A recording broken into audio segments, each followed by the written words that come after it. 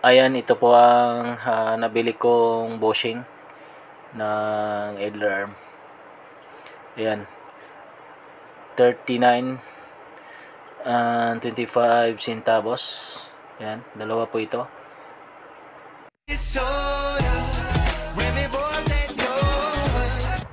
Ah, welcome mga boss, mga kadeway. Yan, ito po ang idler arm ng ah, Mitsubishi L300. Bago po itong kanyang id- idler arm, ayan, nasira. Um, maingay na. Ayan, ah, naluwagan na natin ang kanyang nut. Ah, tanggalin na tanggalin rin natin itong kanyang washer. Ayan, nilagyan ko lang ng rubber para hindi masyadong alog dahil pag nakaikot ang uh, manubila maingay yan naluwagan na rin natin ang kanyang ah, apat na bolt and nut yan tanggalin din natin. Ah, papalitan po natin ito ng ah, bushing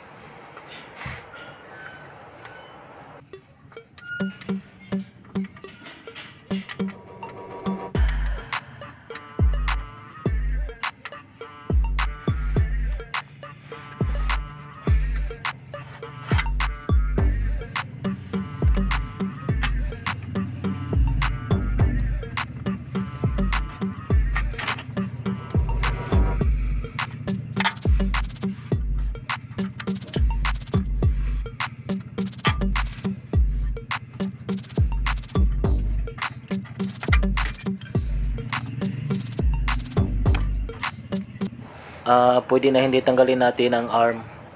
Ito lang ang tanggalin natin. Ayan. Pag magpalit po tayo ng ah, bushing ng idler arm. Yan dito po ilagay ang bushing sa may butas. Ah, itong arm, pwede na hindi ito tanggalin. Yan. Pag tanggalin, ayan, ito po ang luwagan natin. Ayan, ah, naluwagan ko na itong kanyang nut. Ayan dahil tanggalin po natin itong arm dahil may na-order po ako na tools uh, ball joint separator. Tingnan natin kung makatanggal ba ito ng uh, itong arm. Ayan ito po ang sinasabi ko. Ayan ito po ang na-order ko sa online. Uh, ball joint uh, separator. Ayan pantanggal ng mga ball joint i-try po natin ito kung uh, epektibo ba itong tools na ito. Yan okay mga boss uh, nagamit na natin ito. Uh, hindi ko nabidyohan dahil medyo nahirapan talaga ko sa pagtanggal ng kanyang joint. Yan ganito lang sa ganito ginanito ko lang. Yan at higpitan po itong uh, bolt para tumulak. Yan binaliktad ko para pumasok. Mahirap mahirap ipasok dahil masikip. Yan uh, tanggalin muna natin ito. Yan ganito talaga ang kanyang plaster yan binaliktad ko lang kanina dahil uh, binaliktad ko dahil nahihirapan. Mahirap ipasok maiksi lang kanyang arm ng uh, itong ball joint separator. Dapat uh, mataas para makatulak. Ayan. Pagpasok medyo masikip. Eh, mahirap. Dahil hindi ako naka video dahil uh, kailangan ng dalawang kamay. Yan ganyan lang ipasok kaya binaliktad ko dahil nahirapan ako sa pagpasok. Ayan.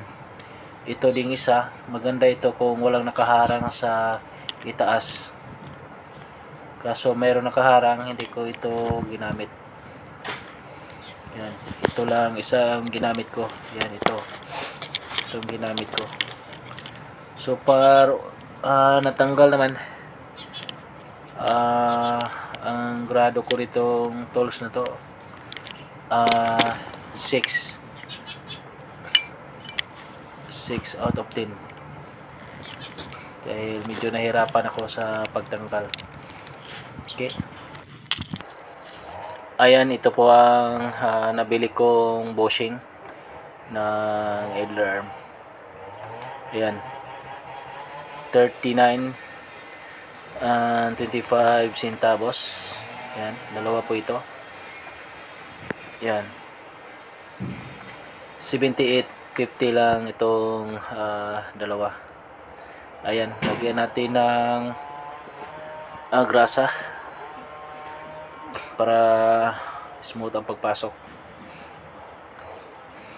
Yan pasok lang at ah, itulak. Yan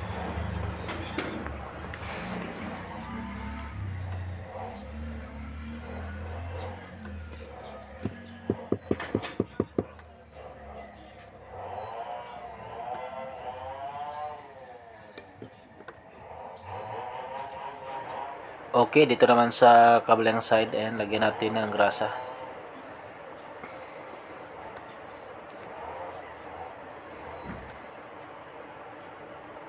Ayan, sa paglagay ng busing, ayan, pinukpok ko kanina. Ah, pwede na hindi ito pukpukin dahil pa sa paghigpit ng nut, ah, lumapat po itong busing. Matulak sa ah, washer and nut. Ayan. Ayan, pasok na. Ayan, pupukin na yung konti. Okay. Ayan.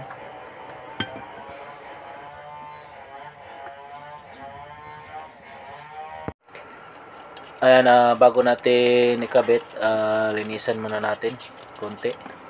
Dahil kinalawang. Ayan.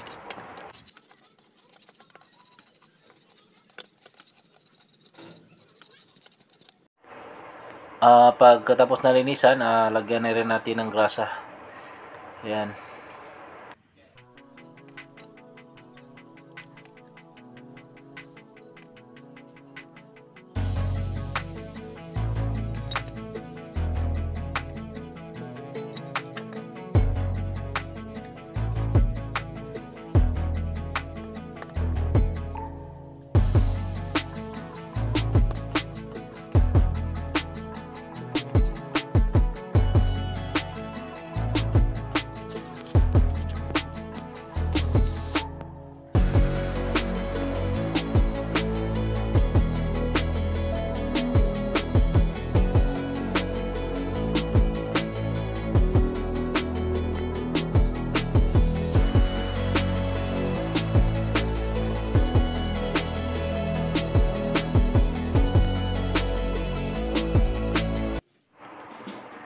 Ayan, ay ilagay na natin ang washer.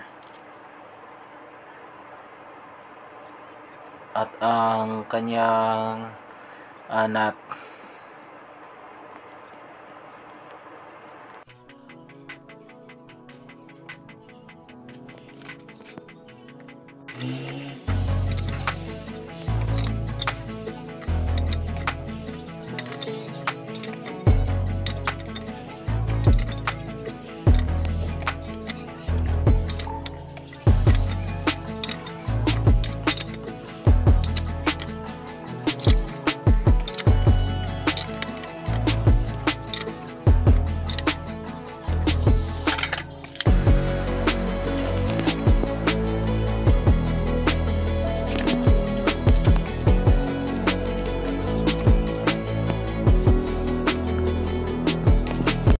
Okay, eh, balik na po natin itong ah, idler arm.